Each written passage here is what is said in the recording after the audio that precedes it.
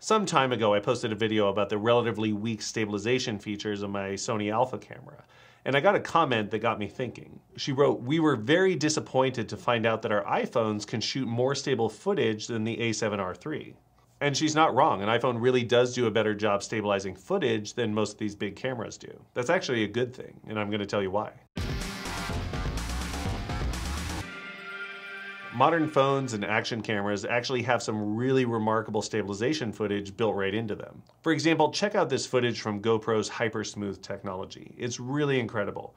They do a lot of advanced processing to make this happen, and the results are undeniably awesome. And here's some stabilized footage from an iPhone, which has even more processing power, so sometimes it does an even better job than the GoPro of stabilizing the footage. And then you go out and drop some thousands of dollars on a professional grade camera, and find out that it does almost no stabilization at all. That's crazy, right? Well, it's actually not as crazy as it might seem. There are a lot of steps involved in recording and processing a video. A typical phone video isn't just recording what the phone camera sees. It's actually doing a ton of post-production on it to make that video look as spiffy as possible. It's doing sharpening, color correction, color grading, AI retouching, and then it's compressing the file to make it fit on the file system. The end result is typically a pretty good looking video, but as a creator, you don't actually get much say in it and you can't make it much better. Unless you're using special software on your phone, you actually don't have a lot of control over things like the frame rate and the exposure and the aperture. And even with that software, those options are very limited. And if you want the footage sharpened differently or something like that, you actually can't go back and fix it. Once it's locked in, that's the video. It is what it is. Yeah, you can tweak it a little bit in your video editor, but most of what it is is now baked in. There's no raw footage that you can go back to. The video is the video. Now, professional video people typically want control over those things so they can maximize their footage and get the most out of it possible.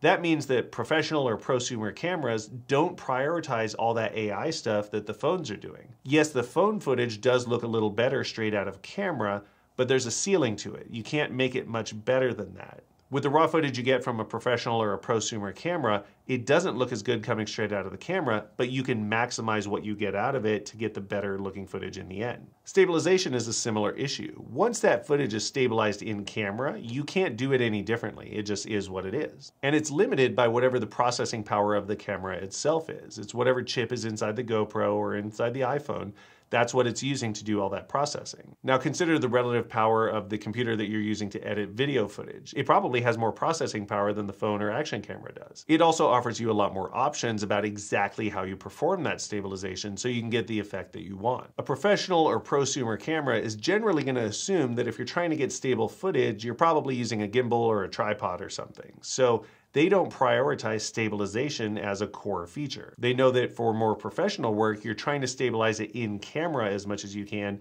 and then you can do the cleanup in the editing software. That's just how they're optimized. Basically, you just have to make a decision about what kind of footage you're trying to record, how you're trying to record it, and what you're trying to do with it. It's like a sandwich. You can go out to a bakery and get a fresh loaf of bread and then go to the deli and get some great meats and you put it all together and you make an amazing sandwich. Or you can go to the gas station and get a soggy three day old tuna salad sandwich.